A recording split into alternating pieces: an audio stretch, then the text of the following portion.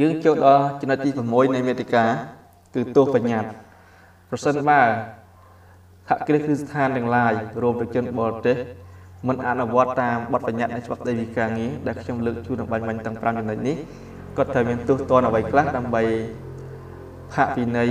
ពិន័យគាត់ក៏ដូចជាដាក់ទោសពន្ធនាគារអញ្ចឹងបើយើងយោងតាមជំពូកទី16នៃច្បាប់ស្តីពីការងារគឺនិយាយអំពីទោសបញ្ញត្តិយោងតាមប្រកាសរបស់ អន្តរក្រសួងលេខ377កបស្លាស់ប្រកចុះថ្ងៃទី14ខែកញ្ញាឆ្នាំ2015ស្ដីពីការកែសម្ប្រាក់យោងប្រចាំថ្ងៃពី8000រៀលមក40000រៀលក្នុងមួយថ្ងៃប្រកាសទី2គឺប្រកាសរួមលេខ659សហវចុចប្រកចុះថ្ងៃទី6ខែសីហាឆ្នាំ2016ស្ដីពីការពិន័យជាប្រាក់ចំពោះ ការប្រព្រឹត្តល្មើសនឹងច្បាប់ស្ដីពីការងារនិងត្រង់ច្បាប់ស្ដីពីការងារមាត្រា361បាទស្ថិតនៅក្នុងទោសបញ្ញត្តិនេះត្រូវផ្ដន្ទាទោសពិន័យជាប្រាក់ពី10ទៅ30ថ្ងៃនៃប្រាក់ឈ្នួលយោងប្រចាំថ្ងៃអញ្ចឹងពី10ទៅ30ថ្ងៃនៃប្រាក់ឈ្នួលយោងប្រចាំថ្ងៃគឺនៃ40000រៀលនេះត្រង់មាត្រា369ត្រូវផ្ដន្ទាទោស ជាប្រាក់ពី61ថ្ងៃទៅ90ថ្ងៃនៃប្រាក់ឈ្នួលយោងប្រចាំថ្ងៃឬត្រូវដន្ទាទោសដាក់ពន្ធនាគារពី6ថ្ងៃទៅ1ខែអញ្ចឹងមាត្រា369នេះស្ថិតនៅក្នុងចំពុកទី16ដូចគ្នានៅត្រង់មាត្រា372នៃចំពុកទី16ដដែលជនបរទេសដែលគ្មានបានការងារសិភៅការងារហើយប្រកបការងារ ដោយមានប្រាក់ឈ្នួលនៅក្នុងបរិជាចក្រកម្ពុជាត្រូវតែទទួលការពិន័យពី61ថ្ងៃទៅ90ថ្ងៃនៃប្រាក់ឈ្នួលយោងប្រចាំថ្ងៃឬត្រូវផ្ដន្ទាទោសដាក់ពន្ធនាគារពី6ថ្ងៃទៅ1ខែអញ្ចឹងជនបរទេសដែលគាត់មកធ្វើការដោយគ្មានបានការងារត្រូវពិន័យជាប្រាក់ចំនួន61ថ្ងៃទៅ90ថ្ងៃ បើយើងគិតត្រឹមមន្ទីរឬក៏ត្រឹមក្រសួងគឺយើងគុណនឹង70%នៃ90ថ្ងៃទៅឃើញចំនួនប៉ុន្មានថ្ងៃយើងគុណនឹង40000រៀលគឺឃើញចំនួនប្រាក់ពិន័យហើយចំបើសិនជាគាត់រឹងរូសមិនព្រមអនុវត្តបង់ពិន័យជាប្រាក់គឺគាត់ត្រូវពន្ធនាគារពី6ថ្ងៃទៅ1ខែករណីមិនរៀងចាល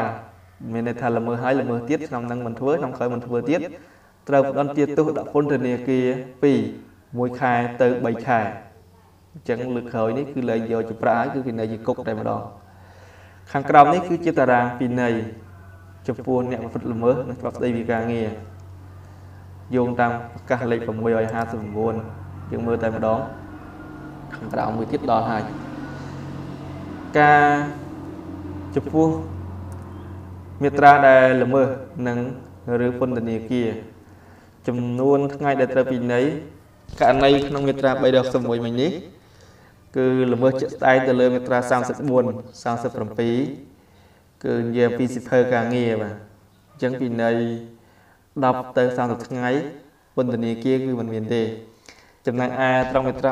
369គឺពីនៃទៅលើមាត្រា260ដែលនិយាយពីសេចក្តីជូនដំណឹងការរើស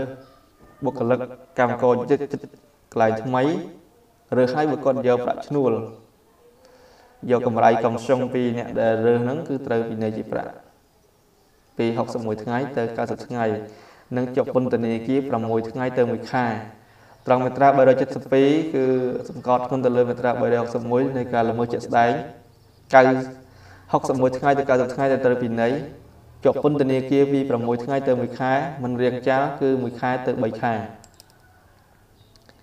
នេះគឺជាតារាងអបសម្ព័ន្ធនៃការ នៃប្រកាសលេខ659ដែលនិយាយអំពីអ្នកប្រព្រឹត្តបទល្មើសចំពោះច្បាប់ដីវិការងារត្រូវវិន័យអ្វីខ្លះត្រង់លេខរឿងទី7នេះបើគ្មានសេចក្តីប្រកាសជូនដំណឹងអំពីចលនាបុគ្គលិកចិញ្ចោត្រង់មាត្រា21នៃច្បាប់ដីវិការងារគឺត្រូវពិន័យ1លាន68ម៉ឺនរៀលកម្រិតក្រសួង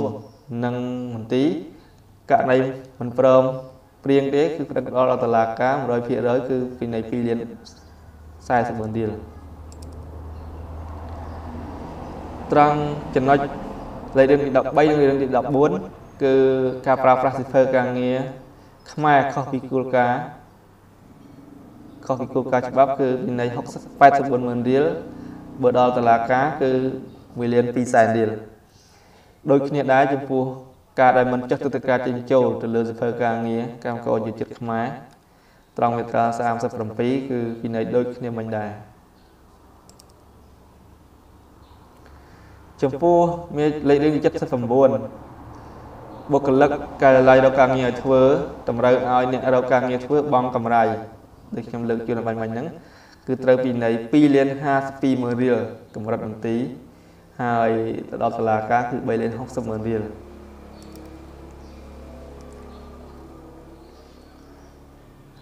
ត្រង់លេខទី80គឺគ្មានលិខិតអនុញ្ញាតប្រើប្រាស់ហត្ថពលកម្មបរទេសត្រង់មាត្រាត្រង់មាត្រា264គឺគ្មានកូតាគ្មានកូតានេះគឺត្រូវពីនៃចំនួន2លាន52ម៉ឺនរៀលបើដល់តឡាការគឺ3លាន60ម៉ឺនរៀលចុងក្រោយគឺត្រង់លេខរឿងទី103